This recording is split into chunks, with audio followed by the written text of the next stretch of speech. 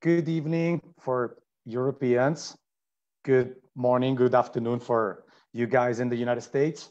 This is Francesco here from the Perbacco Wine Club and from the Osteria del Borgo in Montepulciano, Italy. Tonight we have a beautiful event of, you know, some wines that I personally love from two incredible, incredible regions of Italy, Sicily and Sardinia. I'm so glad to introduce these regions that don't usually get enough credit, especially overseas. We drink a lot of Sicilian wine and Sardinian wine, wine in Italy, but when I go abroad, I don't see often wines from these two incredible regions. So I'm very happy to, you know, spread the word and to help you guys to get to know these two beautiful, beautiful regions. So the first event of the small series of online tastings that we'll be doing in May and June for uh, in May and June. So the first one is Sicily and Sardinia. The second one is gonna be is gonna take place on Sunday, June 13th, and it's gonna be Italian uh, white wines and orange wines. And the third one is gonna be on Sunday, June the 20th, and it's gonna be Italian sparkling wines. So in the next tasting, in the upcoming tastings, we'll learn on the first one, the difference in between white wines and orange wines. So many people ask me, what is an orange wine? Is it a, is it a wine made out of oranges? No, it is made out of grapes. It is a wine at all effect, but it's gonna be very interesting to find out how it is made and how good it is. On the last tasting, we'll be learning about the difference in the differences in between uh, Prosecco method and Champenoise champagne method through Italian wines. You know, there's two methods for making sparkling wines. The first one is fermentation in the big tanks, and the second one is fermentation in the bottle. So very, very interesting events for this upcoming, you know, June as well. So I'm very happy to share these beautiful wines with you guys. So uh, for the ones that don't know me, we have a few friends in uh, Rhode Island and Utah, all over the place in the US, Germany. Most of you guys know me already. Uh, for the ones that don't know me, uh, I run the Perbacco Wine Club, which is this amazing uh, wine club based in Montepulciano, Italy. So I'm happy to organize this kind of events. It is much fun, much more fun to organize events like here in Italy or to travel and to go to the United States, bring our wines and taste them together that's more fun to share it, to share the wines with you live in, in person. But for the moment, until this stupid COVID is gonna, you know, pass away, we have to do this live. And I'm very happy to be live with you guys too. Okay, I'm gonna make a, an introduction, which is gonna last about probably 25 minutes, 30 minutes. Uh, I'll try to keep it shorter. I tend to talk a lot, as you guys have noticed already for sure. Um, I'm going to make an introduction about Sicily and Sardinia as wine regions, also a little bit of history background. And then we're going to do the online tasting. And you guys feel free to intervene, to chat with me anytime. I'm going to be alone tonight because Mary is busy at the wine at the wine bar because luckily Montepulciano started to be, you know, to to have a few people buzzing around and we started to be busy and we're very glad, we're very glad about this. Uh, so Mary is busy and my whole family is busy at the restaurant that luckily is starting to work again. We started to go back to our stressful everyday, you know, daily routine with the restaurant and the wine bar. We're so happy to be back to work. Uh, and it's, it's, it is, it is a beautiful feeling. Okay, I'm gonna share the screen. We go, we start with the presentation. All righty.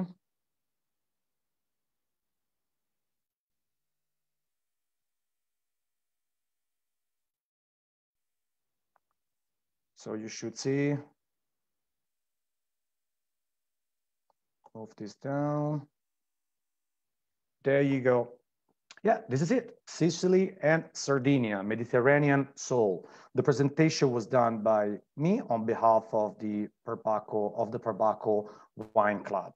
So you see the background, this beautiful Greek temple that is not in Greece, Nula and Michael, you guys have been, Nula is from Greece and Michael online with us has been living in Greece for a while. We are not in Greece, We are in Sicily, in Agrigento, in the Valley of the Temples, because Sicily has had many influences within, within the centuries. So Sicily, a stunning melting pot of cultures, history, and natural beauty. More than 3,000 years of history. So there are archaeological evidence that suggests the winemaking in Sicily dates back to the fourth millennium before Christ. A melting pot of different cultures, Sicily has had influences of the Phoenicians in the 11th century before Christ, of the Greeks, the 8th century before Christ, and the Romans in the 2nd century before Christ. These three civilizations were crucial for Sicilian culture and for Sicilian wine. There's many traces before the Phoenicians as well, but the Phoenicians are the ones. Oh, hello, Vince. Vince from North Carolina with us. Welcome into the tasting. So, as I was saying, the Phoenicians were very important. They kind of stepped up the game for Sicilian wine because they were incredibly good sailors and they were trading a lot and they were growing a lot of wine in Sicily. They saw the potential of Sicily as winemaking region. So they stepped up the game in the winemaking process. The Greeks, obviously, they loved their wines, many poets and many uh, many pottery and jewelry from the old from old Greece has traces of wine and the Romans loved their wines too. So these three civilization, they brought you know, they stepped up the game, each one of them, until the turbulent dominations of the Byzantines, the Muslims, and the Normans. So these three civilizations were not interested into wine whatsoever. So the Byzantine period was a very dark age because when the Roman Empire fell, the Byzantines were took over and you know, the Roman Empire was pretty messed up after the Roman domination. Rome was dominating the whole, you know, known world, and the Byzantine, the Byzantines era was pretty dark time as well. The Muslims, obviously, they had no interest in alcoholic beverages, and the Normans as well. They came from Germany, and they were not not interested in in in wine. So from the 14th century after after Christ, with the Aragonese domination, so the Spanish domination that were dominating the south, the south of Italy, Sicily and its wine lived the period of renaissance. Another crucial date is the 70, 1770s, in which the popularity of Marsala put Sicily on the map, on the map of European viticulture until the devastating wine plague of the 19th century. So the wine plug of, on the 19th century for the ones that were on the previous uh, uh, wine tastings was the phylloxera. Phylloxera was, is, is still nowadays, it is a disease that affects the vines, an insect original, originally born in America that when technology was more advanced and the boats from America until Europe were having shorter journeys, these in insects this insect, Phylloxera, started to survive these journeys in between America and Europe.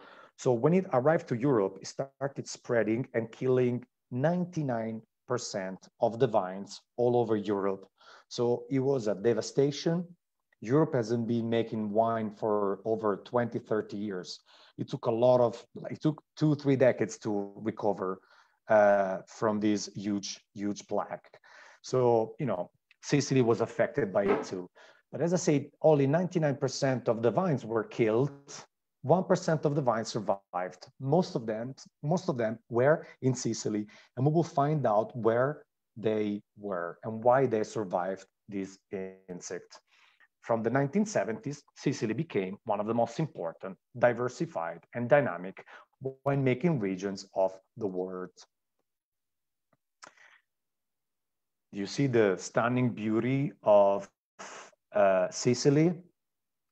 My computer is very slow, so it doesn't charge, it doesn't uh, charge the uh, videos, still buffering, but anyway, this is the Valley of the Temples in Agrigento, which is one of the most unbelievable places, very similar to Greece. Of course, the Acropolis from Athens is stunning, but also this part of the world is pretty beautiful and was built during the Greek domination, of course, when Sicily was the cultural center of the Magna Grecia. Magna Grecia was the Magna Grecia was the Greek uh, civilization living in the south of Italy.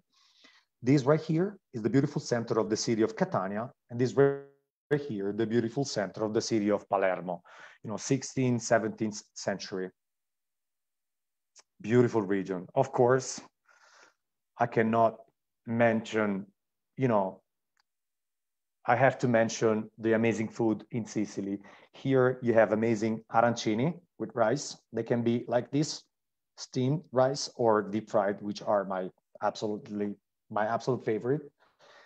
Pasta, of course, pasta alla norma with eggplants, amazing. This is cassata, amazing dessert. And this is, of course, cannoli. So Sicilians, they have probably the best pastry in Italy, if not the best pastry in the world. So amazing food in Sicily. But also wine is pretty amazing too. So one of the most diverse wine regions, Sicily, with its wide range of local grapes and climates, offers one of the most fascinating and diverse scenarios.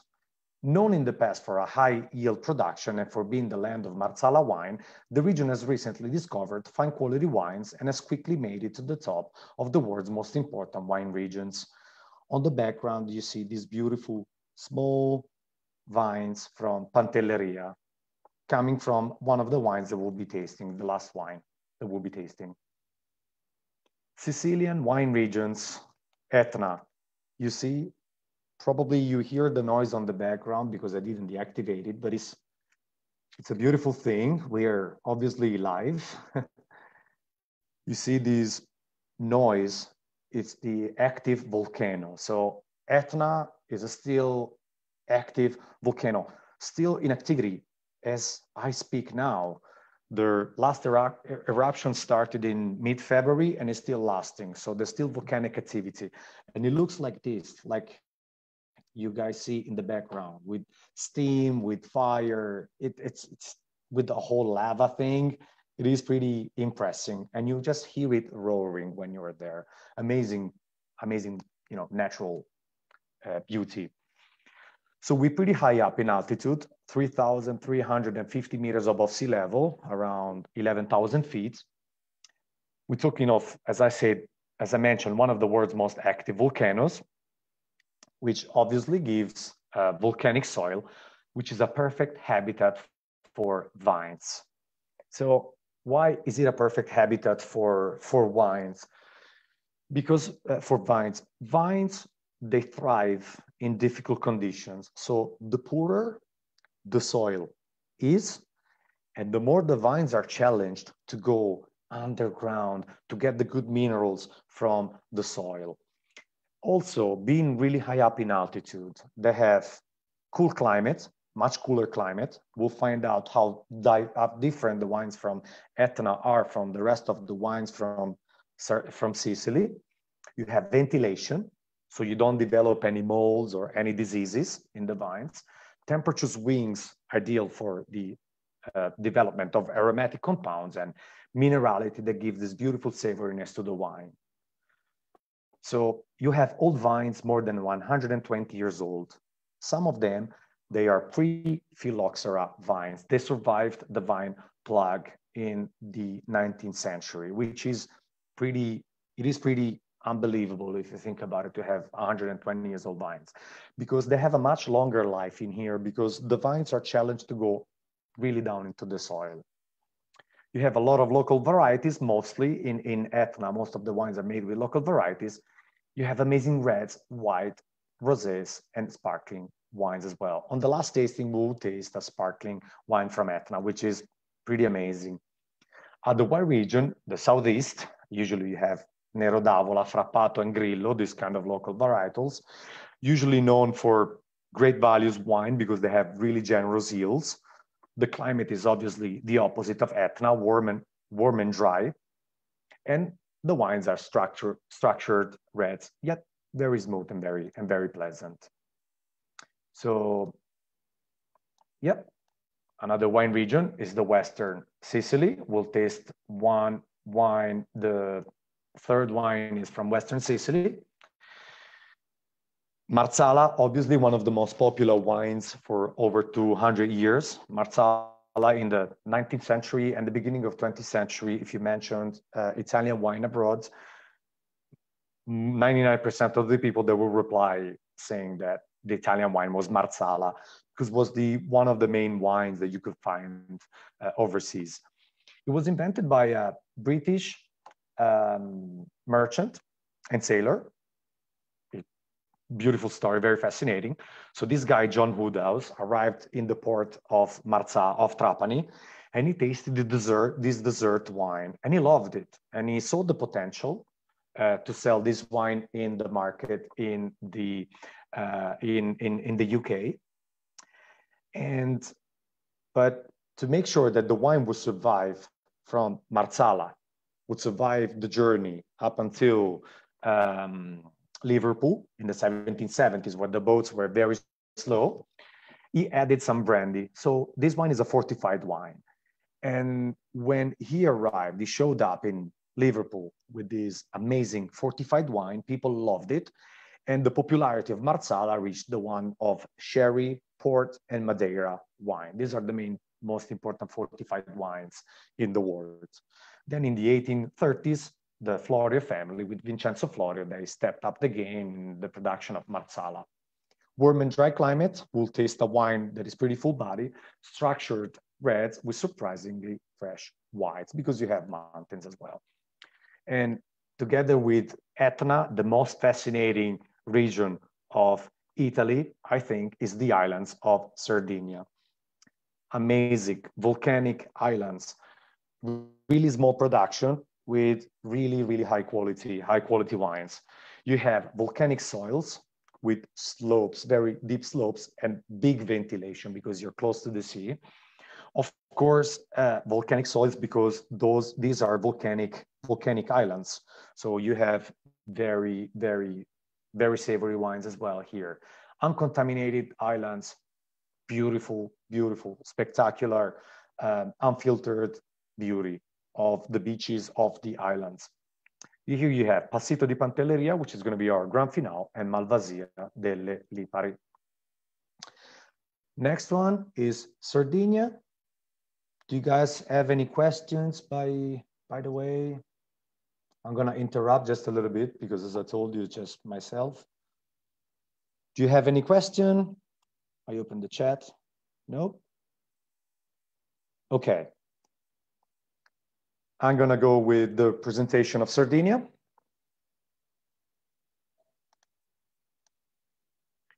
Sardinia, unfiltered beauty. See the crystal clear water of this beautiful beach in Sardinia. This is spectacular. I haven't been in holiday for one and a half years. When I see these, this is torturing me. I just want to dive in the screen right now. So Sardinia is rich in history, culture, and also natural beauty like Sicily. So famous for some of the most beautiful and uncontaminated beaches in Europe, Sardinia has also a long history of winemaking that dates back to the second millennium before Christ. So from the Nuragic civilizations in Bronze Age, the 15th century before Christ, so 3,500 years ago, winemaking was an important part of the local economy and everyday life.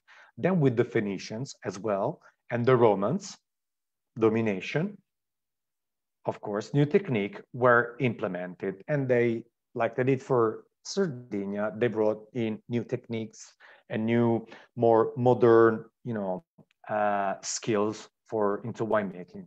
Now Sardinia is the, last, the land of important local grape varietals such as Cannonau, Bovale, and Carignano. And we will taste them all. See the natural beauty in Sardinia, beautiful. The water is just very similar to the one in the Caribbeans or in the Maldives. Just uh, this is the place where Italians go in holiday. This is a beautiful building from the Nuragic civilizations. These uh, buildings made with stones, very similar to the temples that you can find in Mexico as well. Uh, very fascinating culture, more than, you know, Bronze Age, more than 2,000, uh, 3,500 100 years old, very fascinating. And this is the city of Cagliari. Sardinia is worldwide popular for the pecorino cheese, cheese in all form. So this is gonna be very gross, especially here.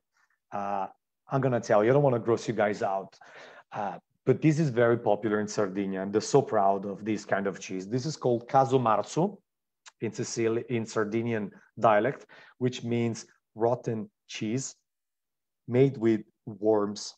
These are worms, you know, these are worms and then they will turn into ugly flies. And they go into this cheese and they just rot it from the inside. And the result is this cheese that smells from kilometers apart. and apparently they love it. If you go there and you don't taste this, they will get, you, you really offend them. They will get offended because they're so proud of this cheese. And apparently is amazing. I haven't had, I haven't dared to try already. But you see cold cuts, they have a lot of lamb, they have a lot of meat as well, and beautiful, beautiful cheeses. So yeah, Sardinia, Sardinian wines, strong personality. Sardinia is a land with a strong and defined personality. Sardinians can be stubborn. Trust me, I have a lot of friends from Sardinia. Straightforward, yet extremely loyal and hospitable friends. So both their foods, especially the cheese that I showed you before, and wines have a strong flavor and a fulfilling taste, fulfilling aroma. There is no middle ground with Sardinia and with Sardinians. But once you open your heart to this great land, it will leave you speechless. So the common thing in between Sardinian food and Sardinian wine is this strong flavors, very defined character. So once you open your heart and your mind to these beautiful flavors, you fall in love with it. It's beautiful. Donkey living the dream in the heart of Sardinia here. And yeah, these are the wine regions. We are mostly focusing on the south uh, west winemaking region, which is the top winemaking region. We taste the probably the two best wines from Sardinia.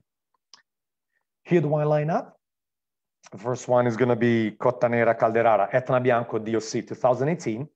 Second one from the same winery, the Etna Red. The third one, Donnafugata Tancredi, IGT 2017. Then Argiolas, uh, Argiolas Korem Rosso, IGT 2017. And then Agripunica Barrua. And the last one is going to be the dessert wine from Donnafugata. Here we are. I should see my face again. Here I am. Do you guys have any questions? Do you guys want to be online? I know we start drinking. Um, I can hey, hear someone. Francesco, I do have a question. Can you hear me? I can hear you. You can also activate your video as well. Oh, I'm sorry. Okay. I was just wondering, you said it says unable to start video. It said um, you said Marsala's been the most popular wine in over 200 years. I didn't know that. That like currently? Uh, well, no. back in the days, probably in the late 18th century, nine, whole 19th century, and uh, most of the 20th century as well, especially in the beginning. Marsala, Marsala was incredibly popular, especially in Europe and especially in and especially in in the UK as well. It was very popular. Oh yeah, oh. now I can see you. I can. See. Thank you. I just wondered that. I was like, that is news to me. Like I thought you were talking about into the modern day. Okay. Yeah, yeah, more. Yeah, in the modern day, I think Barolo and Brunello and Super Tuscans and this guy here, Sassicaia.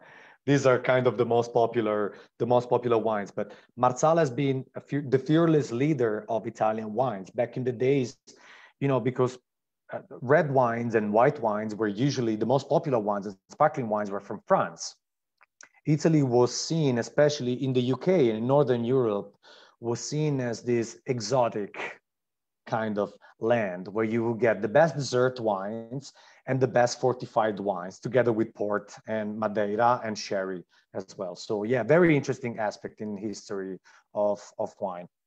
Yep. Okay, We can go with the we can go with the tasting. Do you guys want to be on the video? I can activate all of your guys' video. This is up to you. I can I'm gonna invite you all, and then you can whether accept or refuse to be online with me. Here we are. Okay. So we, hello, Janine. Hi. Hello, Vince. What's that?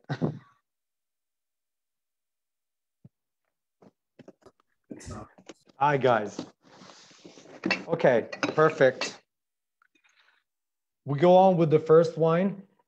There's a lot of light here. Cottanera, Etna, DOC, the white wine. Yep.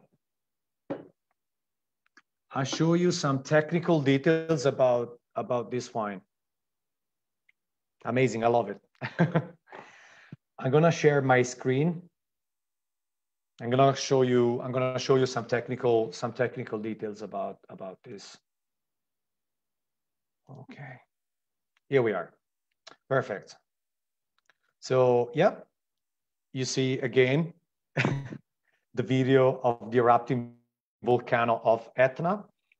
So if you expect these next two wines from Etna to be powerful and full body, uh, that will get you wrong. Uh, it is pretty unbelievable to know that these two wines are made in what is the warmest probably region of all Italy.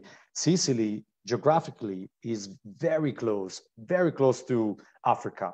The last wine that we'll be tasting from the island of Lampedusa, of Pantelleria, sorry, it's much closer to Africa rather than the rest of Sicily. So we're almost in Africa, very dry weather.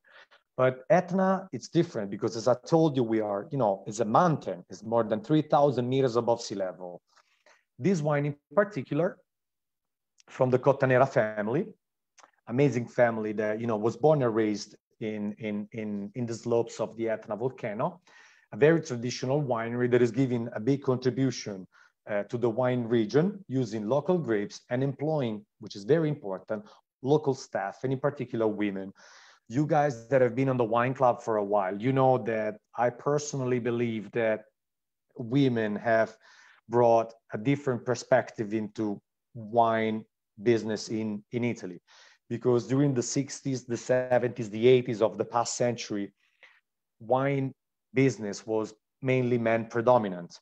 Then the wives, the daughters, the you know nieces, or just single enter, female, female entrepreneurs, that just took over and they brought in a new perspective, bringing new sensitivity to wine, bringing, for, for example, the biologic, the, the organic aspect into Italian wine. They were the first ones to bring this kind of change and to step up the game. I, I really believe they did a great job, especially in the 90s. And the Cottanera family, they're very proud and happy to employ mostly mostly women. They are the you know the engine, the fuel in their engine of the winery. So technical details. Just for a second grapes 100% Carricante, which is a local grape, amazing, beautiful, nice freshness and beautiful minerality and savoriness. Aging took place for 12 months. 40% of the wine was aged in French tonneau, 500 liters French oak, 60% in cement tanks. We'll find out what this 40 percentage of oak, what different the wine it, it makes into the wine. We're pretty high up in altitude, 780 meters above sea level. Soil is obviously volcanic. So, you know, mostly lava and clay. Bottles made 5,600. Average age of wine of vines is 45 years. Alcohol percentage 12.5%, and price is 32 euros. Okay, here we are. You see the wine. Usually see the color of it, beautiful golden straw color with a beautiful light to it. You see very luminous, very nice. You actually, when you look at the color of the glass, most of the sommeliers look like this. I prefer to just look into the glass like, like a sniper. You just look just in the middle of it to see the color. I'm a, you know, the, a wine sniper, but I kill, I don't kill people, I just kill glasses of wine and bottles. okay, so the color is a beautiful golden straw color with beautiful lights. The beautiful lights, this beautiful, the fact that wine is luminous, you can see from here, uh, signs of freshness. Just by looking at it, looking at the wine, uh, my taste buds are already throwing a party. I'm already salivating because I imagine there's going to be acidity and beautiful freshness into the wine. Let's see the smell of it first. Hmm. Yeah. Um, now I have a good temperature now, serving temperature about 12 Celsius, which I have no idea how many Fahrenheit. Uh, I'm terrible in conversion.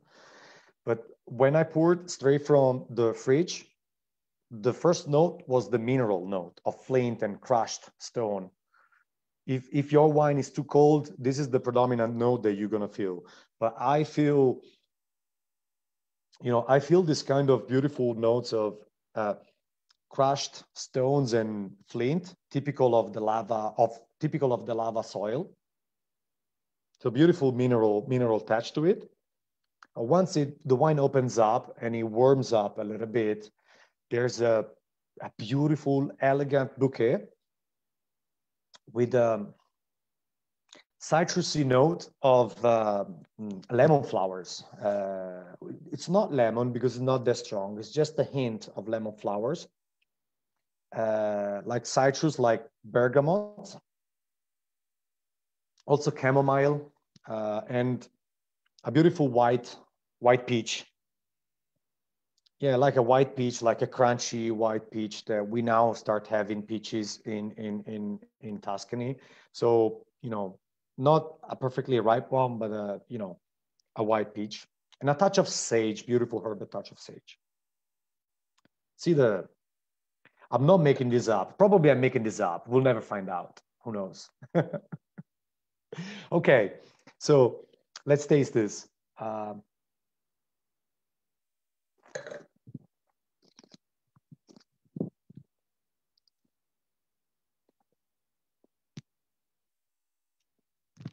my heart is beating fast because I love this kind of wines. I love when wines, my, my, palate, my taste, I love when wines are acidic, vibrant, um, even I would say cocky, if you excuse me the word, when they, you know, they have this beautiful mouth-watering freshness, especially in the beginning. Uh, then you can feel, you can feel this you can feel the acidity in the beginning and then it and soften a little bit. And this is the part that was aged in oak. The oak gives a little bit more of a buttery, creamy taste to it. Otherwise, probably the winemaker found out that if you would age the wine in stainless steel or just cement, the wine would be a little bit too aggressive. So he decided to and soften 40% of the wine with French oak, big bigger barrels, 500 liters. So I'm assuming that the winemaker made made this choice, which is, in my opinion, gives a beautiful balance to the wine. Of course, you have acidity, the battery side to it in the middle, and then um, a beautiful mineral, salty, savory, sapid finish to it, which is due obviously to the lava soil, to the volcanic soil, this beautiful saltiness of, of, of the wine. It leaves also a beautiful feeling of citruses, like a beautiful, you feel like, you know, like lemon, lemon skin. It feels like being in holiday in Amalfi Coast as well. I have some lemon taste in, in, in, in my mouth, but it's extremely, extremely pleasant.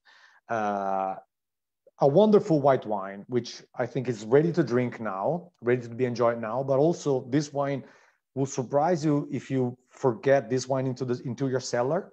You drink it even 20 years from now. I think that you wouldn't be able to recognize the difference in between this wine and a German Riesling that has been aged for 20 years. And this is the beauty, the beauty of wines, because it doesn't matter, it doesn't matter where they, you know, geographically they are from. It doesn't matter what grapes do you use.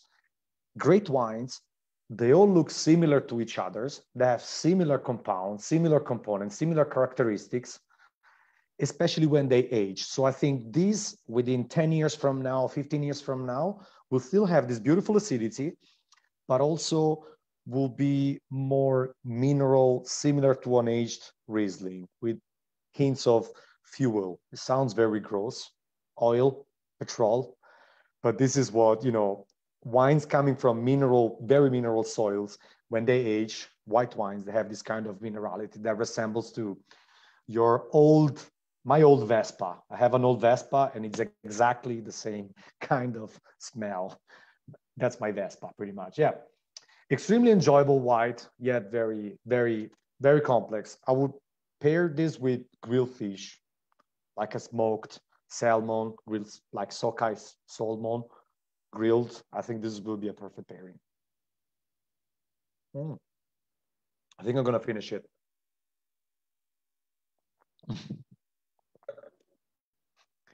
during the first, if you guys were with me during the first tasting when we did the Brunello 2015 last year, I was spitting everything. Now just no shame anymore. Just I just drink it all. I, I think now we can go with the with the red from Etna. Same winery, Cottanera, Etna DOC 2017 17 Feudo di Mezzo. Etna is divided like, you know, in Burgundy, you have different village, different appellations. In Barolo, you have different crus, single vineyard. In Chianti, you have different municipalities. In, in Etna, you have different contradas. Contrada is a concept that goes in between, you know, the appellation and the cru, the single vineyard, because it's bigger than a cru, than a single vineyard, and smaller than an appellation. So, you know, Feudo di Mezzo is one of the most popular, one of the most important contradas in, in the Etna volcano. Let me get the glass and let me open the screen. Do you guys hear me well? Do you have any question about the first wine? No? We're good to go?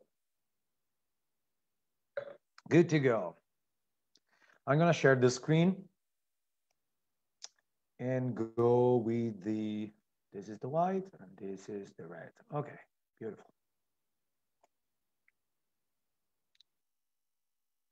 There you go. Cottanera, Feudo di Mezzo, Etna Rosso, Red, DOC 2017. The grapes will be 100% Nerello Mascalese, which is the most important, the predominant grape in Etna. Another very surprising comparison for this wine is with Nebbiolo, very similar to Nebbiolo. So this wine might be very similar to Barolo. We, we, we will find out. Aging of this wine is 16 months in French oak casks, so they decided to choose to choose French oak because French oak, in comparing to Slovenian oak, is usually a little bit more gentle.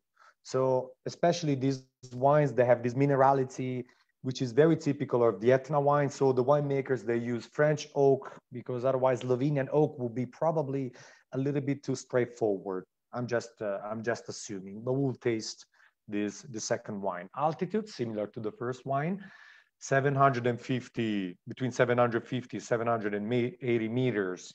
This is meters, not feet, above sea level.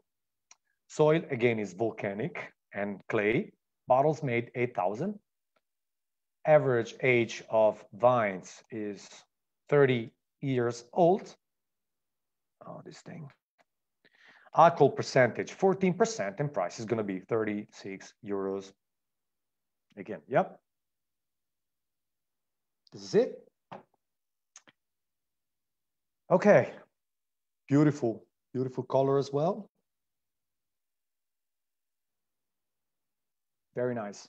Um, like a luminous ruby with garnet reflections as well, uh, garnet uh, reflection as well. So this garnet color, uh, I don't know if you have how much light you have in here. I don't know if you see, well, you see it in your glass. Why am I showing? Why am I doing all this? I look like stupid. I'm stupid, but anyway. So this kind of color reminds me a lot of a young Barolo or a Barbaresco.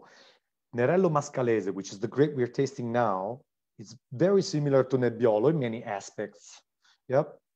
Uh, the color, you know, it looks like a Barolo. I'm, I'm very surprised to see the color, this kind of color uh, from a wine from Sicily. Very interesting.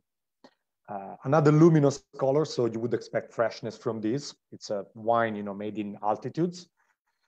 Let's see the nose.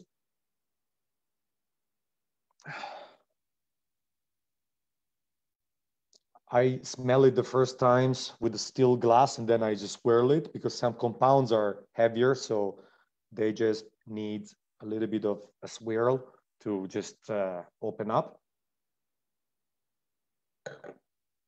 Beautiful. Another, same as the first one, quintessential elegance to it.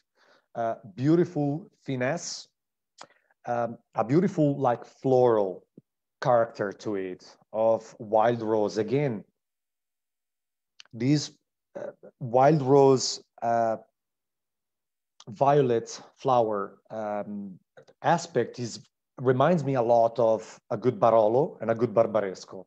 Very, very similar. I'm, I'm, I'm very surprised. I think 90% uh, of experienced and skilled sommeliers, they will have a hard time in a blind tasting to distinguish this wine from a Barolo and Barbaresco. Yeah. Yeah, this beautiful aspect there of wild rose. Uh, then if you swirl it, you have beautiful fruit like uh, red currant and raspberry. Raspberry, yeah. Beautiful but balsamic notes of eucalyptus. And uh, kind of a it's not dusty but uh, a beautiful note of again of crushed stones and of graphite as well you know graphite is you know like a pencil.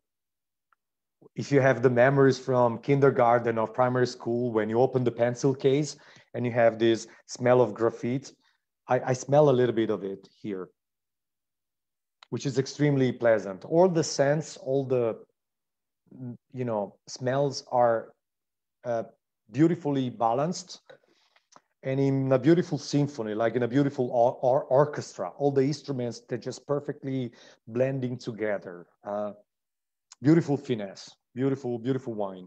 Let's see the palate if it shows the same quality.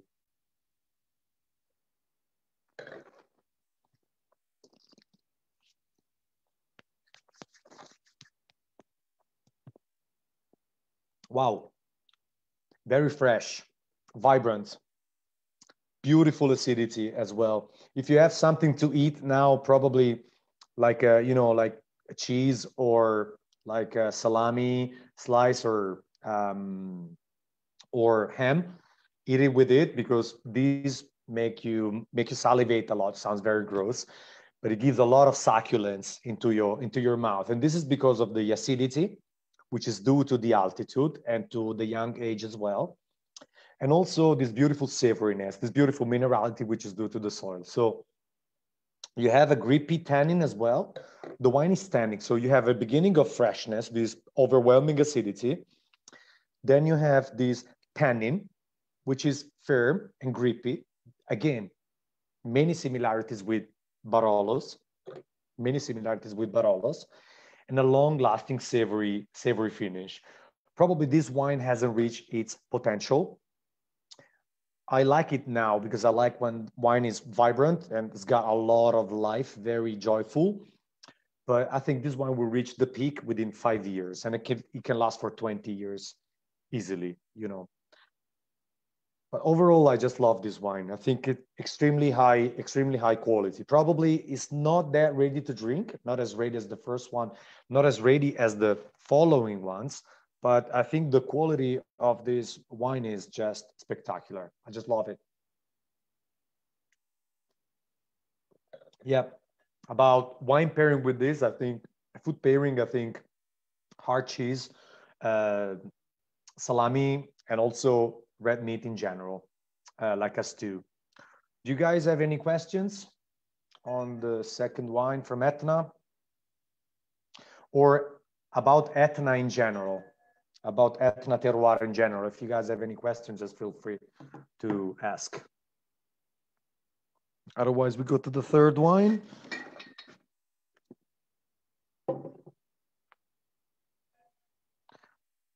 Are we good to go with the third one, guys? Say yes? Amazing. Am I talking too much? Am I boring you guys too much?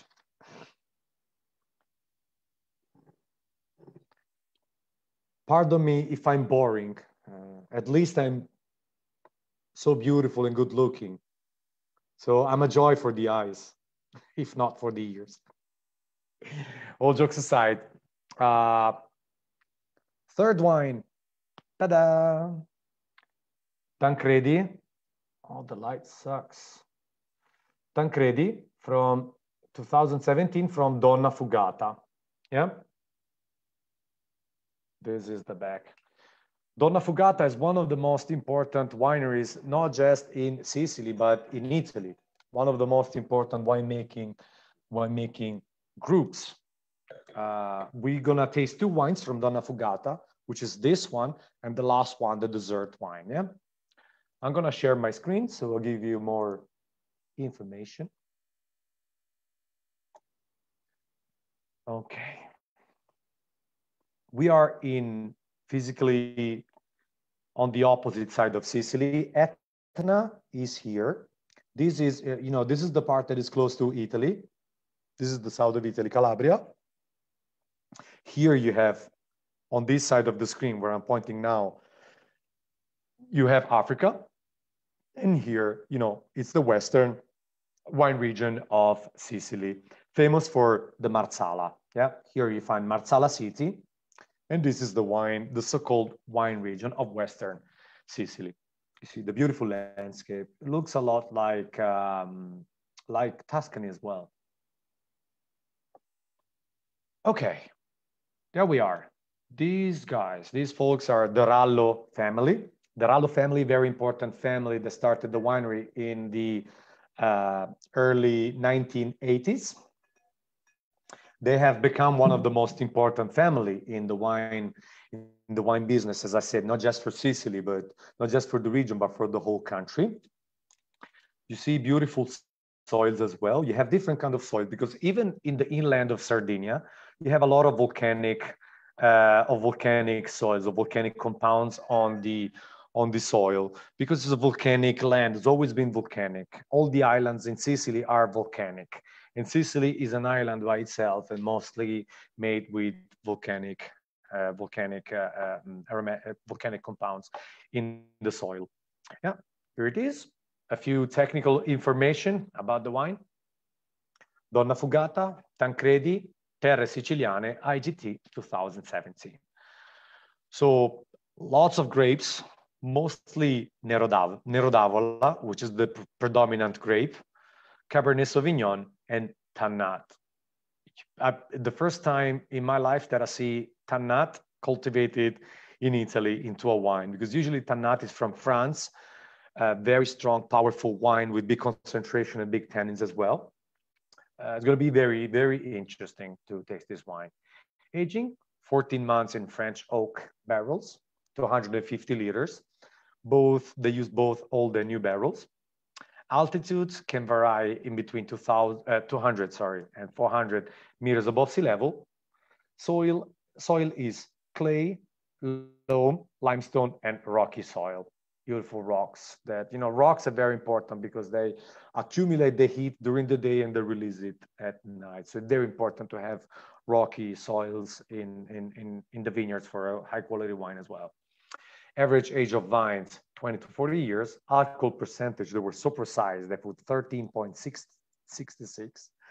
Price is 38 euros. Okay. Go back to my ugly face. Yeah. You see the color of this one compared to the second one. I think the second glass. you see the different, you wouldn't believe that these are made, you know, in the same, in the same region, in the same island.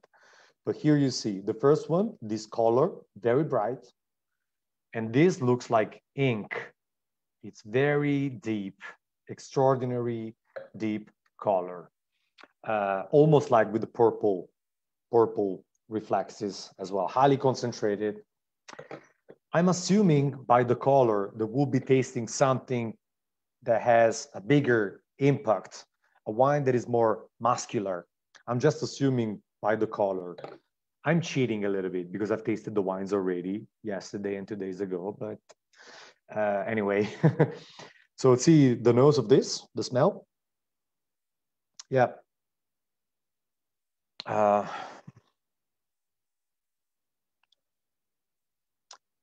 much more intense than the previous red.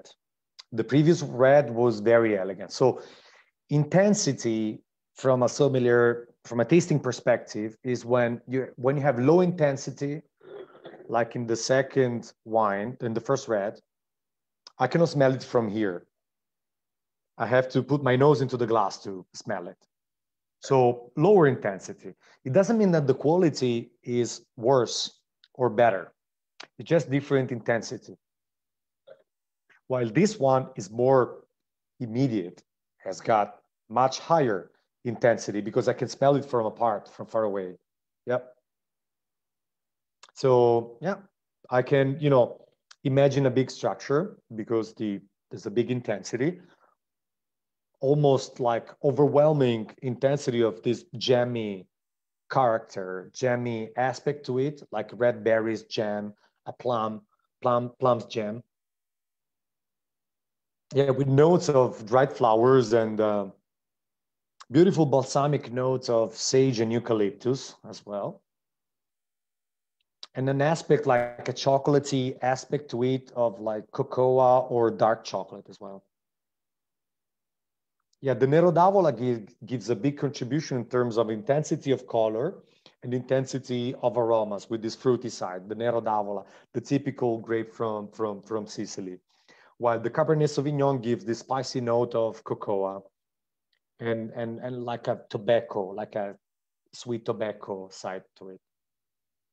Very muscular bouquet, but beautiful complexity, pretty wide as well, because uh, usually, you know, intensity doesn't match really well with complexity. So the more intense the wines are, the less complex they usually are. But this is both intense and complex, which is a beautiful sign.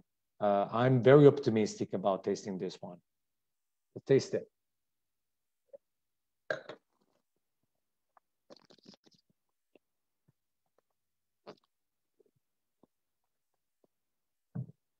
Wow. Extremely powerful, generous, uh, warm. You have the warmth of the, on this one. Compared to the previous wine, completely, completely different. The previous wine looked like a Barolo on a cool vintage, or also very similar to a Pinot Noir from New Zealand. You see the difference in between Sicily and New Zealand is huge, but it looked like almost like a Pinot Noir from New Zealand. This one, boom, big impact into your, you know, my taste buds are just in buffering, I'm buffering now because it's still processing the wine. You know, the taste buds are just overwhelmed. They don't know what to do. They don't know what they're tasting very well. So I need the second sip. Yeah. I have to say the wine has a big structure, but still extremely balanced. There's a beautiful balance to it, which is very surprising because when you see this wine, you expect something a little bit too heavy, probably, but nice, vibrant, also beautiful acidity as well, very well balanced, uh, with a mineral finish, with this kind of beautiful savoriness at the beginning, at the end. Uh, tannins are firm because you, you, I, I can feel the tannins in my gums, in my lips, in my tongue as well. Tannins is again for the ones that don't know what tannins are Tannins are a polyphenol that give that kind of bitterness that you taste in, especially in red wines. So similar, sometimes you you taste a red wine that is, you know, is very bitter and it dries your uh, taste buds. that's because it's probably high on tannins. So the tannins are firm but beautifully integrated with the structure. I have a beautiful, as I said, savory finish, a long persistence of red fruits in my mouth. You know, my taste buds are throwing a party with this beautiful um, raspberry and this kind of uh, black cherry black cherry aspect of this wine. These beautiful flavors that are is still in my palate after you know i've drinked uh, i've i've i've had the wine already a, a, a, few seconds ago. I'm surprised by the overall balance of this wine. I didn't expect it to be so neat and so balanced. Um, i love it i love this wine very much I was happily deceived by the appearance of this wine. I was expecting something heavy, but the wine is beautiful, clean, neat, and perfect. So I think the perfect pairing with this one, with this beautiful body and this alcohol, will be a T-bone steak, or probably a meat preparation with mushrooms on it. Uh, I think will be a good pairing. Before we go to Sardinia, do you guys have any questions? Let's see, if there's any questions on Facebook, I'm doing everything by myself and I'm terrible, terrible with technology. I have like five screens where I see my face in all of them and it's so creepy. I look like my own big brother. Okay, not, not my actual brother, the big brother like in George Orwell uh, book. I don't want my brother to be offended by this. Any questions, you guys?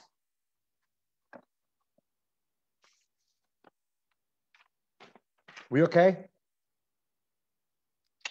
Neat. Janine, are we okay? Are you guys in Rhode Island or Florida? Rhode Island? Hello, Rhode Island. Out there. See my beautiful friends from Utah as well. With with yeah with these guys. I love you guys. With these guys we've had one of the most epic weeks in september 2019 before this covid disaster. We had a beautiful week of wine tastings. We had so much fun with these guys. We were my my my best memories were when we went to uh, to Montalcino and you guys were singing in the bus. It was like a school trip you know, visiting the wineries. Uh, I, I miss that. I miss having you guys here. I miss having doing this kind of tasting live with you people, being able, you know, to hug you, to just, you know, drink together and to share beautiful moments and beautiful memories. Michael and Nuala, they, of course, you guys, you guys were here in September last year. So you're privileged because you live in Germany. So you're very close by. And I'm sure I'll, I will meet you this summer, right? Beautiful. And all the guys online as well. We have, let's see what we have online. Oh yeah, my my my brother from another mother in in in North Carolina in Apex, or actually uh, Raleigh area. Vince in Candence as well. Uh, we have yeah we have Christopher and Annette from from Georgia, from Atlanta. Hello, Chris. Hello, Annette. Greetings. Hello. Greetings. Hello. Hello. Yeah, Chris is there. I can I can hear you. Yeah. Oh, yeah. You said hello. Yeah, we have a lot of friends that will be seeing this in the next few days because they couldn't be here today. So I will send the recorded the recorded version of the tasting that obviously I forgot to record on, on Zoom. I'm now recording on Zoom, uh, but I, am recording on Facebook as well. So we are live on Facebook as well. Hello again, Chinese and Russian government. How are you guys doing? Hello, KGB. Hello. Just me being silly.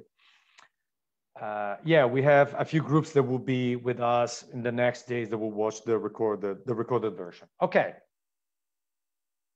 Let's go on to the fourth wine. Here we are in Sardinia. Let me grab the glass and the bottle as well. So Sardinia is another another beautiful island. Well, again, we're talking about regions of Italy. Uh, is reductive to call them regions because there are two islands in the heart of the Mediterranean. Sicily is the biggest island of the Mediterranean Sea, and I'm sure about this. Probably Sardinia is the second biggest, biggest island. Probably Nuala has more information. I don't know about Cyprus, probably, or but probably Cyprus and uh, Sardinia are the second and the third biggest islands in the Mediterranean Sea. So we are in the heart of the Mediterranean. Completely different climate from the rest of Italy, as we saw in the first and the first three wines. And Sardinia has a very similar climate to the inland of Sicily. So warm and dry climate. We are in the south of Sardinia, this beautiful, beautiful island. You see on the background is construction. This is called, again, like I said before, nuraghe from the Bronze Age, more than 3,500 years old, pretty impressive. Yeah, and here are a few pictures of the Argiolas, Argiolas, probably with the with their um, in their dialect, in their accent, family.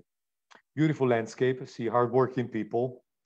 Um, and these are the Argiolas, Argiolas brothers that are now running the winery. The winery that is, you know, more than 90 years old. See a few technical infos about the wine. Argiolas Korem Rosso IGT 2017. Grapes are the three most important local grapes of Sardinia. Bovale, 85% local grape. Carignano, the predominant grape in Sardinia, 10%, and Cannonau, 5%. Cannonau is a Sardinian variety of Grenache. They're very proud of Cannonau because on the on the eastern uh, coast they make mostly red wines with Cannonau. Here there's just a more, small percentage of it. Again, we have French oak, French barrique. Aging is 12 months in French oak. Altitude in between 200 and 250 meters above sea level. Uh, soil is limestone and clay. The winery is active in, since 1938. The first vintage of this particular wine is from 1997. Average age of vines is 35 years and alcohol percentage, pretty high alcohol percentage, 14.5 and price is 42 euros. That's my ugly face again. This is the wine. I haven't shown the, the label. Yeah, Korem 2017. Bovale, the name of the main grape uh, Isola dei Nuraghi, Argiolas. Isola dei Nuraghi means island of the Nuragis. The Nuragis were the people, civilization, civilization living in Sardinia 3,000 years ago. Okay. Yeah, the Argiolas family, as I said, very Sardinian people in general. I have a lot of friend, friends from Sardinia. The most uh, hospitable and welcoming people in the world, probably. If you go to their house, they will get you drunk because they will pour wine over wine and you have to drink it. You have no choice. Otherwise, you will offend them. They will give you food, especially that cheese with worms that we saw before. That is something that, if I'm sure, uh, if I'm sure about something in my life, then I will never taste that cheese. I'm not a cheese person, but that cheese, I will never eat it. Not even if they torture, not even if ISIS come, comes to multiple Montepulciano and they feed me that cheese, I will say no, thank you. Okay, so here we are. Yeah. The color, another intense red ruby color with a pretty thick, thick texture. I can imagine, I can suppose that this is gonna be full bodied as well big concentration of the fruits and of the aromatic compounds, and probably alcohol as well. Usually, this is something that many people focus and they give more important than what it actually has, the legs. Legs are very important for us, so we can walk without issues. But legs are not that important in wine, but they show you the percentage of alcohol in the wine. So the closer, you don't see them very well, but the closer the legs, the more the alcohol percentage it is. If you see, if you take brandy or scotch or whiskey or rum and you swirl the glass, you see that the legs are very close to each other because the alcohol percentage is higher. So the legs are pretty close. So I can imagine by, you know, I've, I've already spoiled the whole grand finale, but the alcohol percentage is 14.5%. So pretty high in alcohol. But I can assume by looking at the legs. But you don't have to focus on the legs of the glass very much. Okay, so yeah, the nose. Another wine of great intensity, like the previous one, great intensity. I can smell it from apart.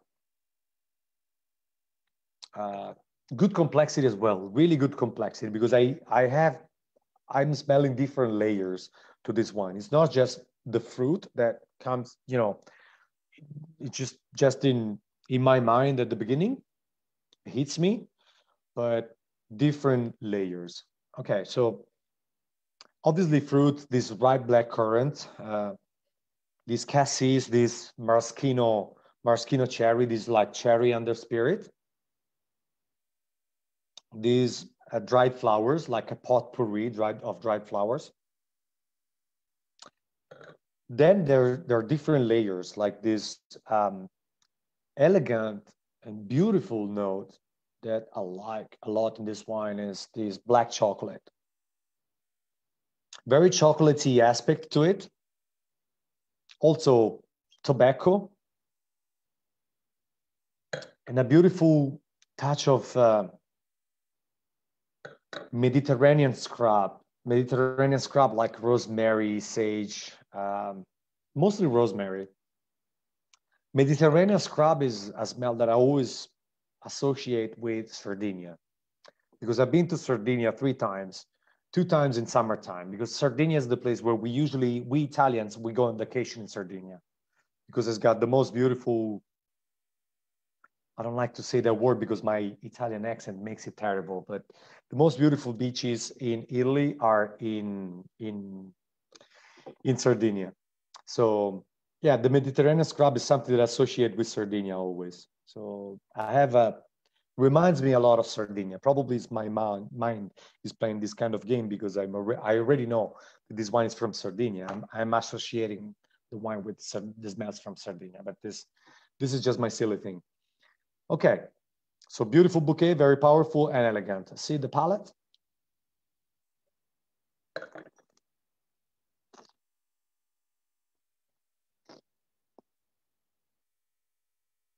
As well as the previous one warm, structured, very powerful, yet balanced um, with um, a big and um, velvety and warm beginning. I feel the alcohol in the beginning. The presence of this, you know, muscular structure of this wine, but then again, progressive freshness that keeps all the compounds together in a beautiful, beautiful, perfect balance. At the end, I have a robust tannin, uh, which is strong and marked tannin, but still creamy. It's not too aggressive. It's pretty creamy. I have it in my lips, in my gums as well. And a good savoriness as well, pretty mineral as well, pretty salty as well. And it leaves a sensation, an effluvium of uh, fruits of I'm I'm now it's like I'm chewing black currants, berries, a little bit of licorice as well. Extremely, extremely pleasant, extremely balanced. I like this wine a lot. So, uh, as I said before, Sardinia is a land. You know, Sardinian Sardinians, uh, they have a strong personality. Uh, Sardinians have a strong personality. Also, their food has a strong personality and their wines have a strong personality as well. Uh, but this wine has a strong personality, but beautiful balance at the same time. Very, very, very interesting. And I like this wine, this wine a lot. Of course, I've chosen all these wines for the wine tasting. So you know, I obviously like them all. But yeah, great wine indeed. This is good to drink now. I think this will form a perfect uh, food pairing with wild boar, game, and uh, dark uh, hard, uh, hard cheese. But also, surprisingly, I think this can go really well with black chocolate. I think as a meditation wine with dark, dark chocolate, like dry chocolate, this will go really well because also this chocolatey aspect reminds of chocolate, and I think it will be a beautiful, a beautiful pairing. Yeah.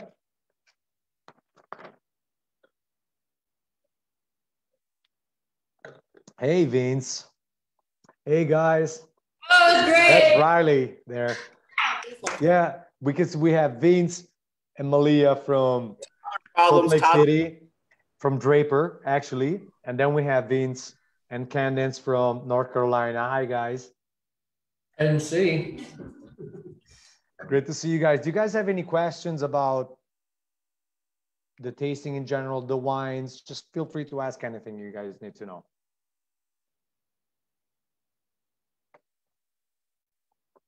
No questions? Let's see our chat. Let's see our Facebook.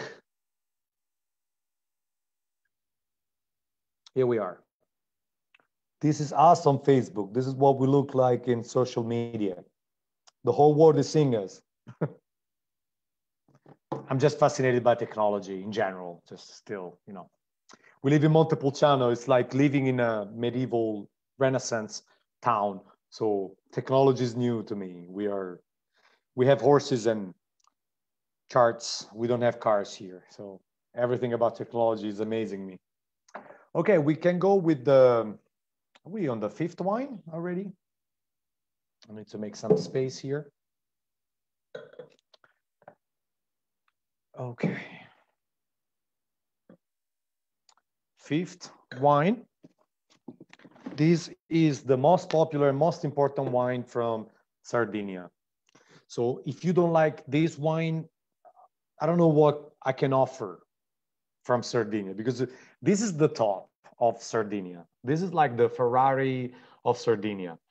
Actually, they call this wine the Sassicaia of Sardinia. Sassicaia is the most important Super Tuscan that we have in Tuscany. It's actually this guy here that you see. See this case of Sassicaia on my left? And the wine was made by the same people, by the same winemaker and by the same owner of the winery in a beautiful, beautiful project. And now I will tell you something about. I share the screen again.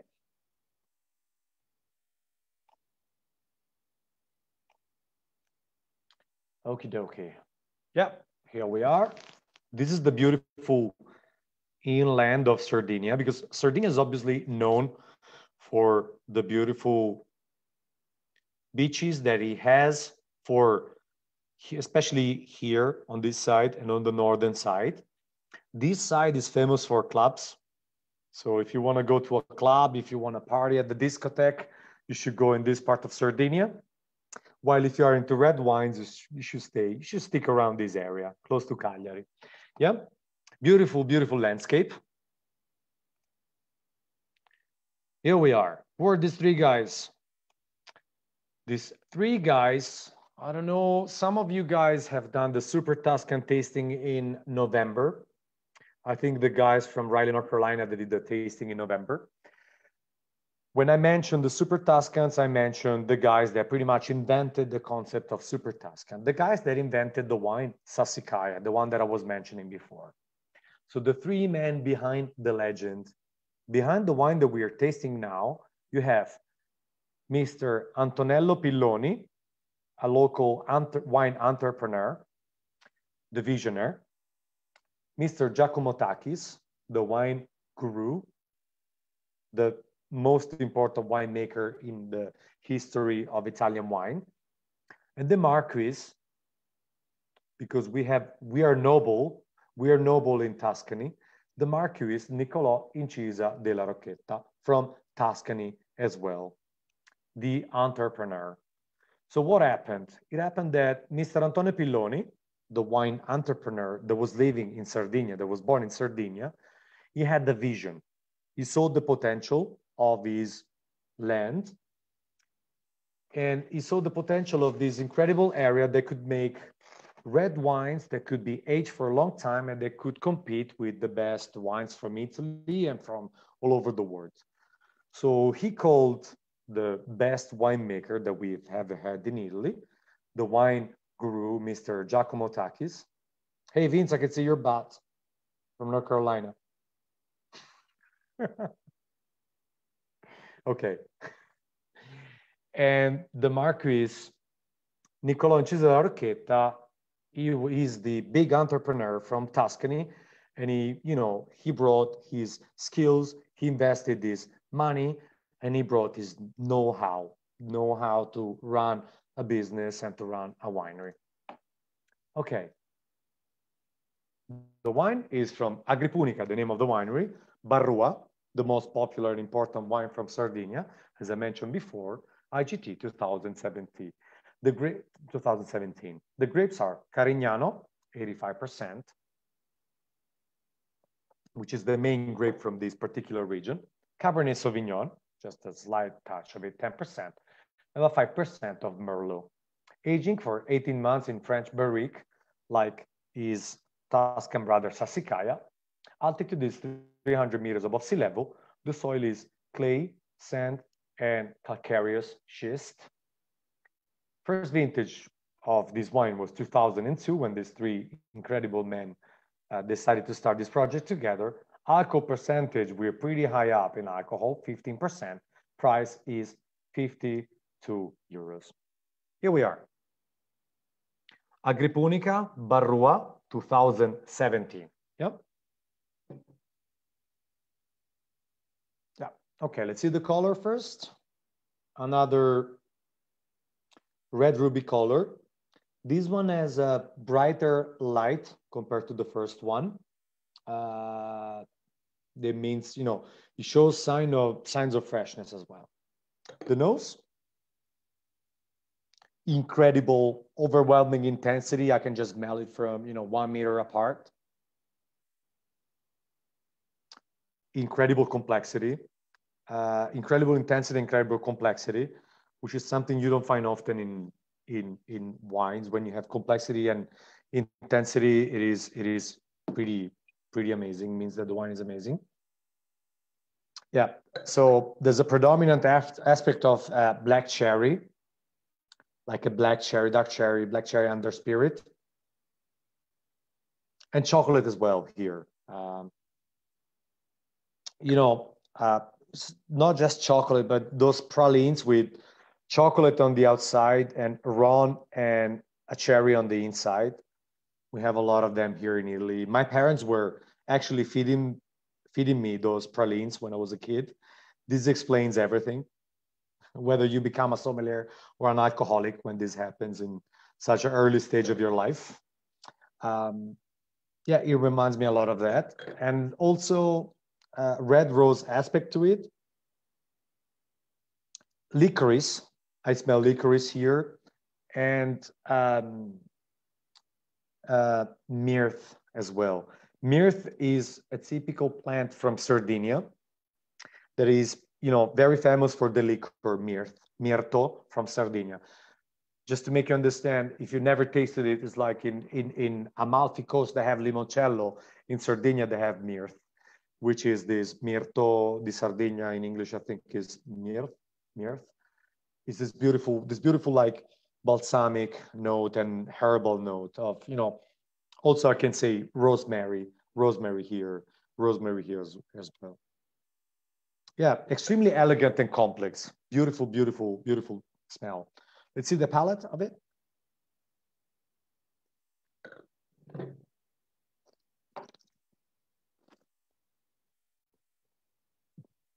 Okay, very generous as well. You can feel the alcohol in this one too. Uh, succulent and savory as well, with a beautiful mineral finish. Um, it has a dangerous drinkability for a 15% volume of alcohol wine.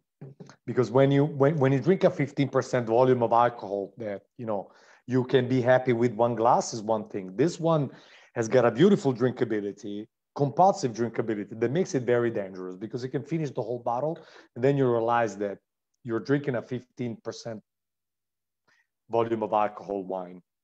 Uh, very perfectly balanced with a perfect uh, freshness to it as well. Beautiful elegance with a firm uh, tannin that is perfectly integrated in a savory, long lasting finish. The wine has an incredible, incredible persistency in the mouth with beautiful notes of cherry, pepper, kind of a spicy note, and, and sage as well, sage and rosemary as well. A great wine indeed. I think that, you know, I can confirm that this is one of the top wines in Sardinia and in Italy as well. So spot on, amazing, amazing bread. Of course, this can be aged for 20, 30 years from now, but it's very beautifully enjoyable even now. So food-wise, I think the perfect pairing will be with roasted pork, which is typical from Sardinia. They call it uh, porceddu. Stews and you know game and roasted meat in general. I think this goes goes really well with the barbecue. Amazing, amazing wine of incredible, incredible quality. I'm very happy with that. I think I'm gonna finish, finish the bottle when this tasting is over. I try to, you know, I try to get it together now because I'm drinking too much wine. So probably if I start talking too much of talking nonsense, just stop me. If you guys have any questions, I'm more than happy to to reply your questions, any doubts, any your impressions about the wines that we've tasted so far, and then we move into the last wine, to the dessert wine. Janine, any questions on your part? Hey, we have a question here. Sure. Hi. You, you, you were talking about limoncello, and you said something is similar to limoncello. What, what was the comparison? Oh yeah, uh, there's a liquor that is typical from Sardinia. Is like you know in Naples you have limoncello. In Sardinia they have this liquor that they always eat. Uh, they always drink after lunch, after a meal. It's called mirth, mirto. Here. It's uh, it's like a herb. It's like uh, one of those herbs. It's very similar to rosemary. It's in between rosemary and sage. Is I just love it.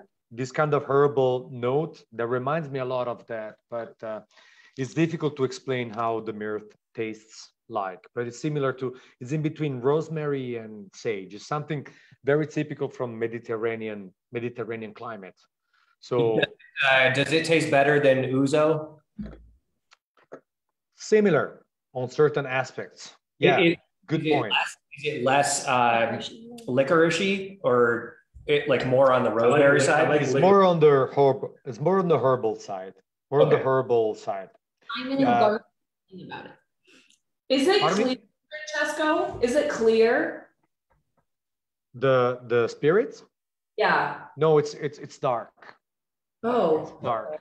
It's like usually it's like a digestive, usually like a digestive uh, spirit that we that we drink. It's spreading all over uh, Europe as well. In, in in in the UK is like a big fashion to to drink mirth because Sardinians are, you know, people from Sardinia they used to travel a lot, so uh, now they they they're traveling all over the UK because of unemployment, pretty much in Sardinia and all over Italy.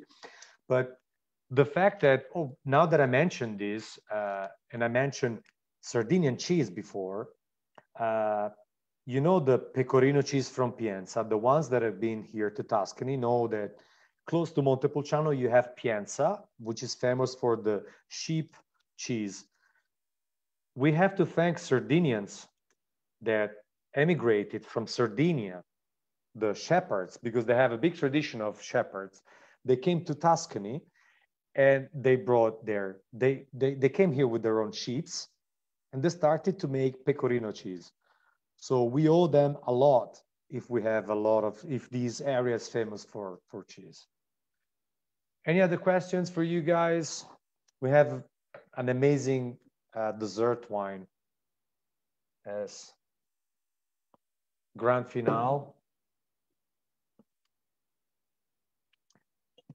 I brought in the big guns, the big glass. You know how fancy this is.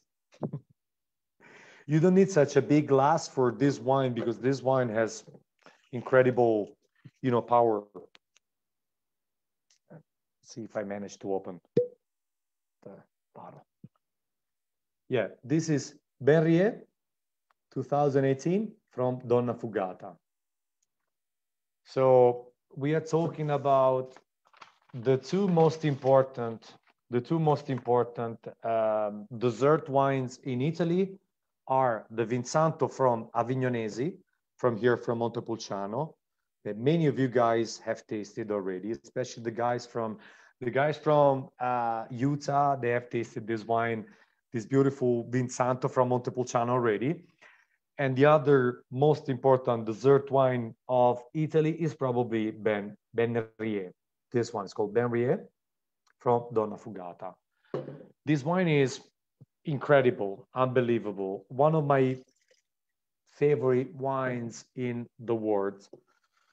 The wine that gave me, you know, the epiphany when I started to approach wine. I had an epiphany with this wine these and another couple of great wines the first time that i tasted them i was you know so impressed i was so overwhelmed by the quality of these wines that i decided that you know my path is going to be to become a sommelier and to be able to express what i feel in the glass express my emotions my feelings when i taste a wine that i like a lot so i'm very i get very emotional that now i get to share this one with you guys. So I hope that we, you will enjoy it as much as I did the first time and every time that I actually taste it. Okay, I share my screen.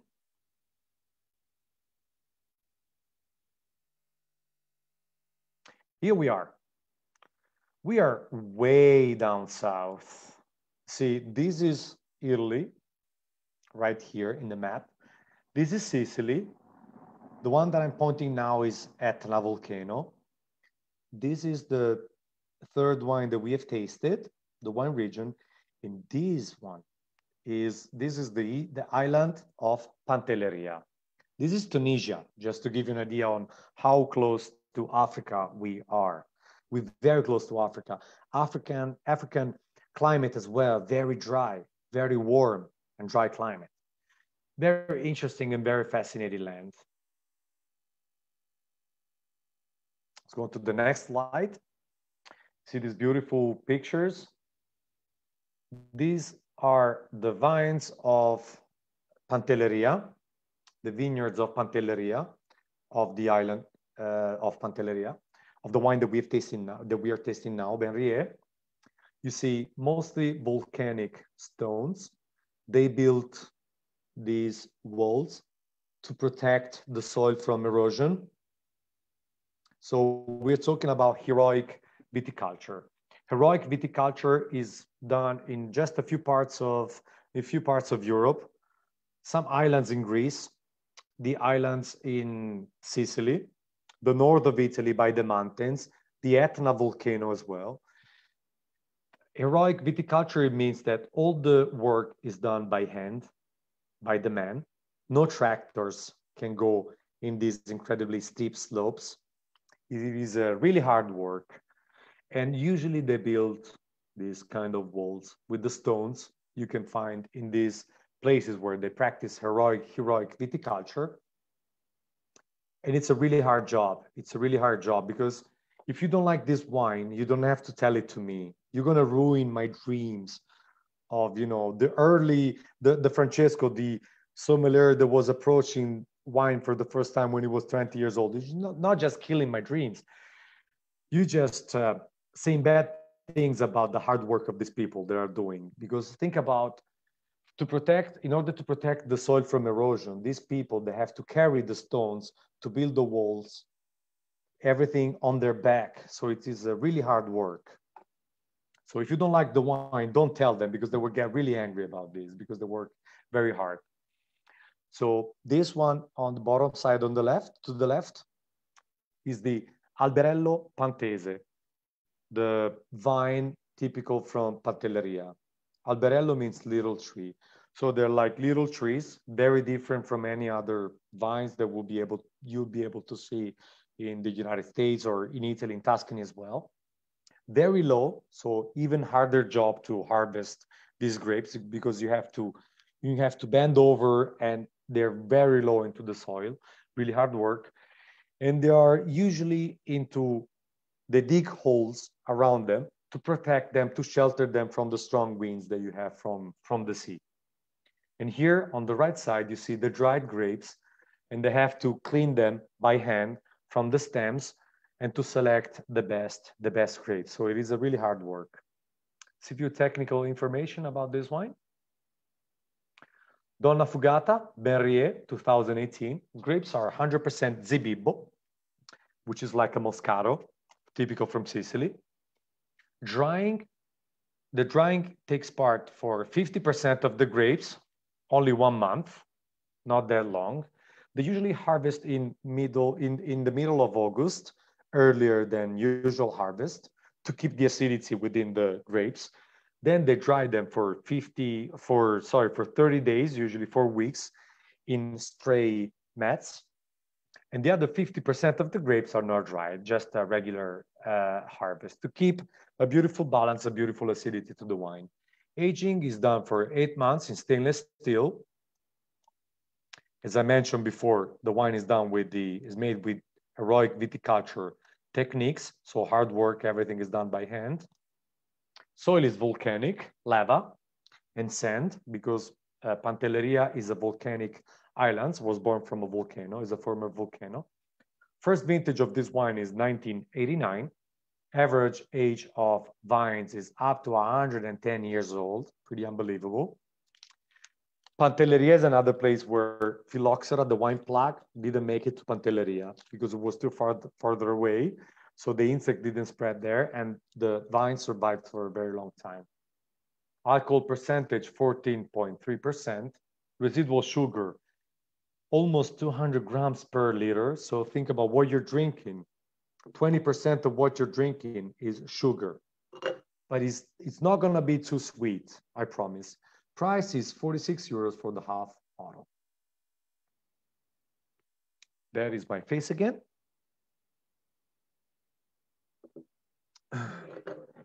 Yeah, we go with the wine. Again, Donnafugata. The third one we have tasted from Sicily was made by this winery, and they have a different location in this beautiful, this beautiful island. See the color? The color is, I see the gold of the Sicilian sun here. I don't want to exaggerate. I don't want to be always like, you know, Italian. We exaggerate everything we drama queenize everything we we we describe but i see the gold of you know the sicilian the sicilian sun with amber reflects like golden amber beautiful beautiful color. With luminous color as well. You see the color is very luminous. If you're used to vinsanto from from from tuscany you don't have this bright color. The bright color is due to the freshness, to the acidity of it. So I'm expecting something that is not too sweet, but it's got nice balance and nice acidity. So let's see, let's see the, the, the smell first. Unbelievable, overwhelming intensity. Uh, beautiful quality of all the aromas. You know, all the aromas are perfectly carved in this masterpiece, we are tasting the Michelangelo of dessert wine. I promise you that. Uh, a wine that is unique. Uh, uh, I'm getting emotional. Just this is the thou thousandth time that I've tasted this wine. It still surprises me every time.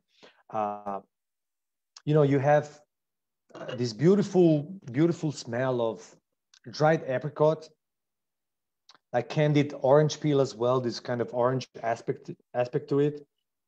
Dehydrated peach, uh, almost like an exotic fruit like uh, dates, something like from Africa, from sub-Saharan uh, uh regions, like dates and dried figs. a note of a sweet note of honey as well. Uh, beautiful. And also Mediterranean scrub as well here, like kind of a sage herbal touch, touch to it. Beautiful, beautiful. My, my, you know, the aroma is addictive. My nose just keeps going into the glass because I can't help it. The, the, the aroma is so good, so complex, so amazing that I keep smelling it without stopping. Let's taste it.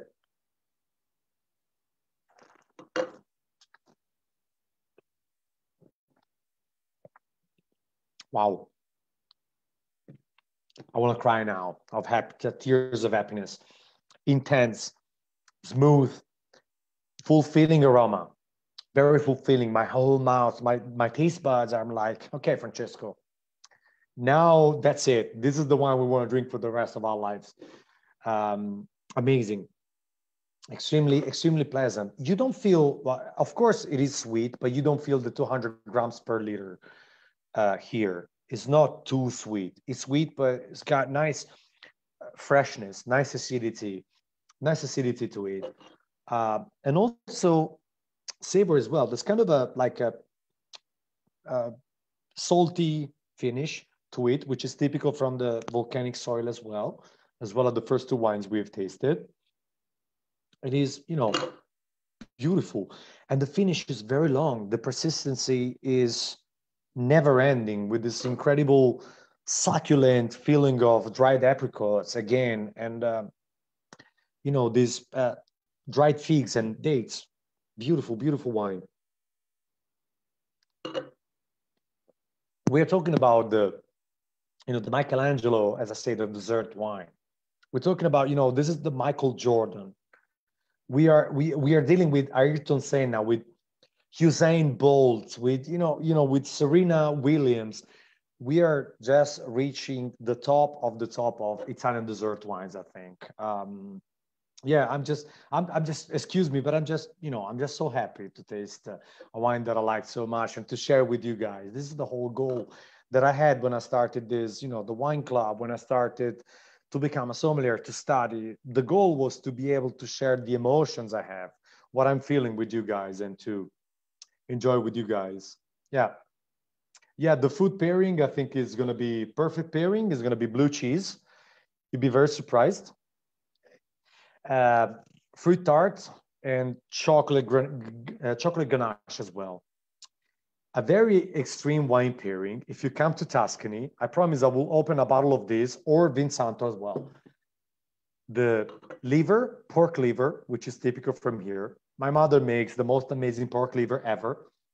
An incredible pairing that no one knows about except from we from Tuscany. It's pork liver and dessert wine. This is something, I mean, French, the French people, they eat foie gras with dessert wine, with sauterne usually we drink pork liver or chicken livers with with the with this. It sounds gross, but it's the like the predominant dish that we have in in, in Tuscany. Okay, guys. Um, just one second. I'm gonna share the screen, so I'm gonna show you the wine lineup that we enjoyed. Then I'm more than happy to share your impressions and your questions. So as you guys know, free shipping to the USA and to Germany as well. The wines we have tasted, the first one is Cottanera Calderara, 32 euros. Cottanera, the white wine. The first red was Cottanera Feudo di Mezzo di Etna, 36 euros. The third wine, Donnafugata, Tancredi, IGT 2017, 38 euros.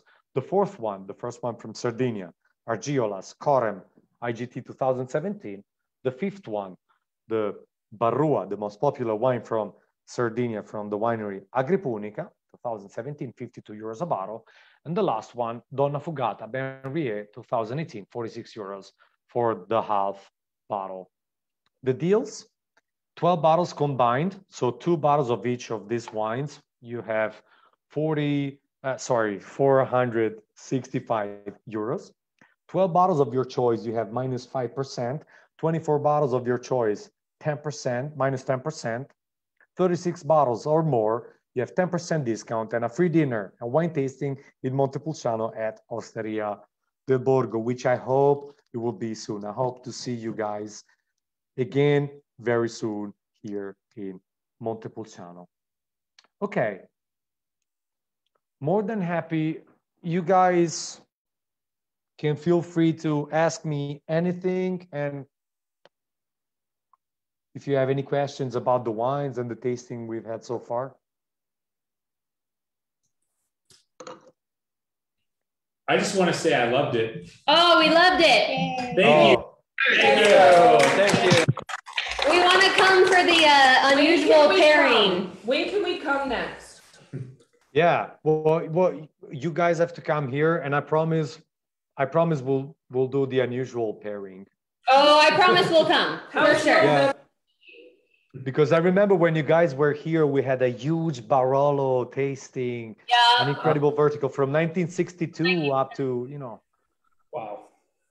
Yeah. That we still talk about that. We yeah. can't- Me too. So yeah, we're thinking November. That'd be awesome. That'd be awesome. Hey, do you still have the video of us all singing in the bus? Yes, I do, but I'm not gonna show it now because people people would judge. But maybe, Just send it to but maybe email it. Maybe email it to us. For sure, I, I can WhatsApp it to Vince. I Okay. will, I will send it via WhatsApp. Okay. Perfect. Yeah. Thank you so much for having us. This is great. Oh, you guys are great. You guys are amazing, and you really. I was supposed so the first. Uh, the my my my goal is to go back to the United States as well, like we did in 2019, with the guys from the guys from North Carolina from Raleigh. We did an amazing event in in in in Raleigh, and and it was it was beautiful to have. We filled up a restaurant with 60 guests, thanks to this amazing guy with the green shirt my brother from another mother, Vince, Vince Ayamuno. Uh, with these guys, we, we filled in, we filled up a restaurant. So I really hope to be able to go back to the United States soon. And I promise we'll go to Salt Lake City to visit you guys. Yeah. And uh, well, and also Janine, everything okay on your side? Janine. Here you are. Hi. Hi, how you guys doing in Rhode Island? We're good. Bravo, bravo. Thank you, guys. You guys are amazing. It's easy with with you guys. You guys are amazing. Very kind. Thank you, Francesca. Thank you. So with Janine, she was in for the amazing wine tasting week before COVID happened in February 2020. Some of the members of the wine club, they came here to Montepulciano and we did the Brunello di Montalcino preview of the 2015 vintage. The Vino Nobile wine tasting here in Montepulciano with the, all the wineries with the 2017 vintage and the Chianti Classico preview in Florence. It was spectacular. I remember back back then, Janine, we were talking about COVID like it was something far away in China. Yes. Then you guys you guys made it back to the United States by miracle because Italy was the first country to be hit by the virus in the Western world. Announced, uh, they announced uh, martial law the day we were leaving. That's crazy. That's crazy. I bet people when, when you came back to Rhode Island, people were like, "No, stay away from me. I don't want it." Like you, you were in Italy yesterday. You just stay. Yes. Yeah.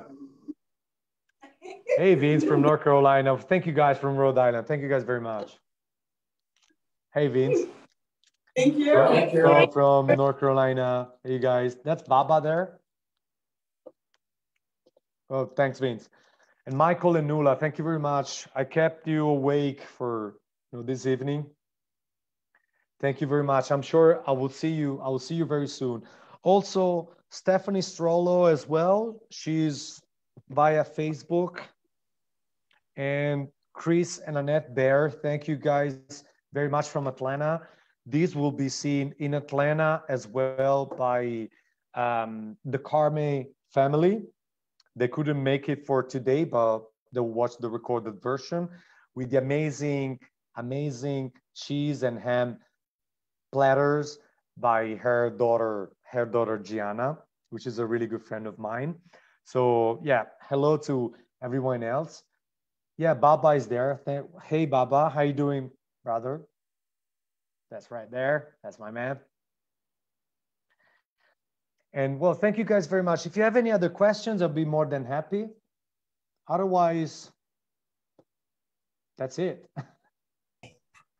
So, Francesco, I thought I was the only American Vince in your life, but to find out there's another Vince, like I, Don't- I mean, a little tough. don't be jealous. Don't be jealous. I hate it. I hate it. bro, bro, don't be. Je- I have two brothers in the United States called Vince.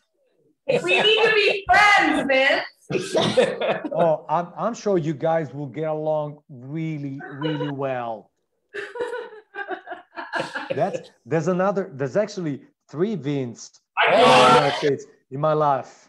The one, one is Vince, Vince's son in North Carolina, Vincenzo. Vincenzo. That's that's my American, well, Italian American nephew. Man, Oh. That's, You're- where's where's Ansel? I'm number three. I'm, I'm gonna. I'm, I'm not even gonna push it. Well, bro, you are number one always. Uh, you say that to all the girls. Yeah, you say that to all the Vinces. it's just like you're just like I got a Vince here, I got a Vince there. You? I have I have a Vince in every city in the United States, right? Okay, other Vince, we're also from Atlanta though. No, he's in North Well, Carolina. you guys from Atlanta as well. Yeah, yeah, you're right. You're right. He's in Atlanta. I thought Atlanta. he was in North Carolina. No, oh, no, no, We, we were raised in Atlanta, went to school in Atlanta. Yeah. Well, we have a lot of friends in Atlanta as well. We we did an event there. We did a beautiful wine tasting and wine dinner in Atlanta as well. It was a lot of fun. It was a lot of fun. And Okay, there was a for, state there was a state senator as well, which A state senator. Whoa. Wow, fancy. in, in Raleigh we had the mayor of Raleigh. Yeah, Vincent, Vincent, I think. Well, well, Vi- Vincent is the king of Raleigh. Francesco, what happened to Lionel? Yeah, this is uh, ugly, ugly news from Montalcino. We received a few, a few weeks ago. Lionel, the owner of Cupano, one of the most important wineries, in, one of my favorite wineries in Montalcino, that we we uh, visited with the guys from Utah. Well, bye, bye, North Carolina, bye, Riley. Love you guys. Bye, Vincent Candence, bye, Enzo.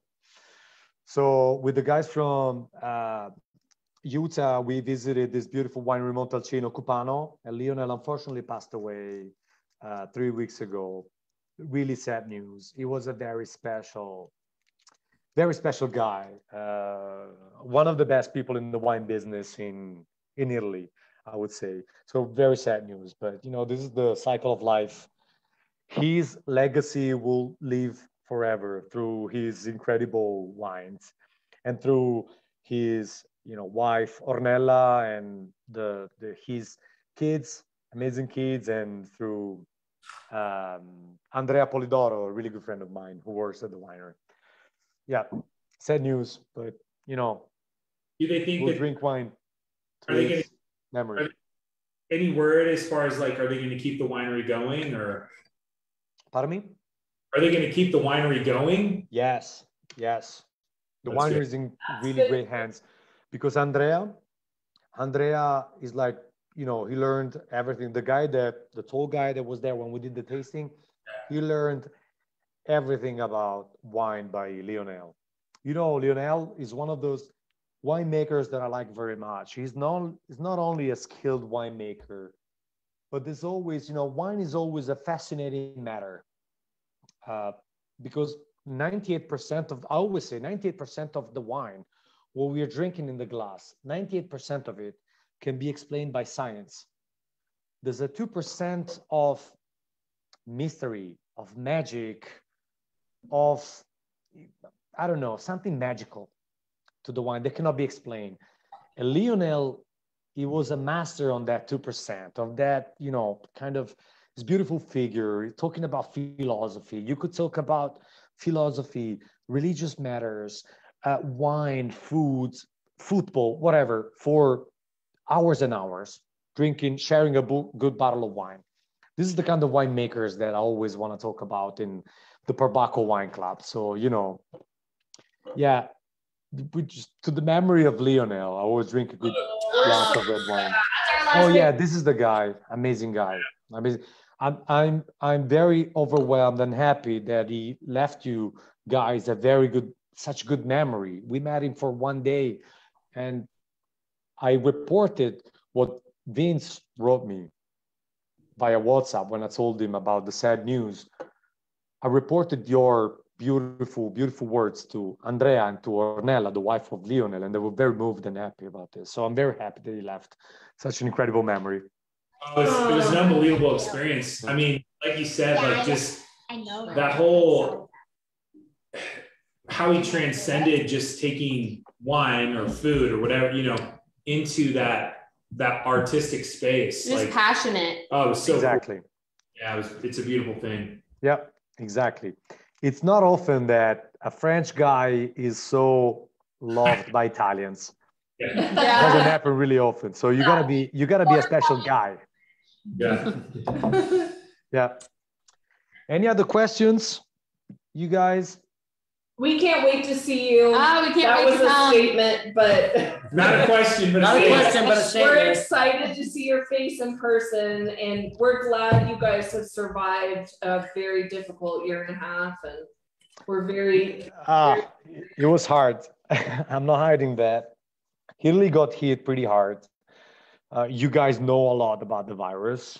Uh, you know how you feel when you get the virus. You know when people that you know really well that you love they, they get hit by this stupid, awful virus. Uh, but um, you know the economy was hit pretty hard.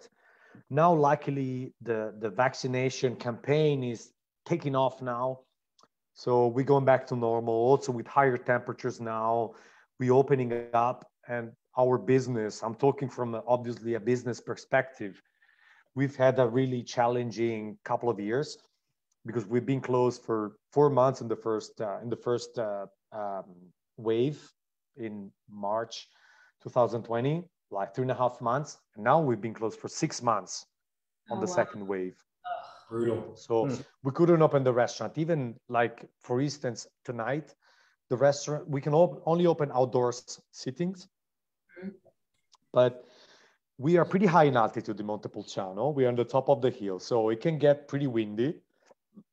And we are living, we are experiencing experiencing the coldest May in like 100 years. Oh no. so oh. even tonight, we had plenty of reservations for the restaurant, but it started to rain. So oh. we are heritage, you know, heritage building, so you cannot cover, you cannot build any fences or cover the outdoor sittings. So if it starts to rain or the weather gets too cold, you have to turn people away. Or you put food in a doggy bag and they have to eat it in the hotel ugh, sucks. but still it is an amazing feeling to be able to work again to be back at work because six months without working for us workaholic my family it was it, it was hard luckily we had the online tastings that were a big success the ones that we did in november and november december and yeah november and december they were big success they were a lot of fun. Like this one is it was for me it was a great fun. Uh, so and the wine club as well.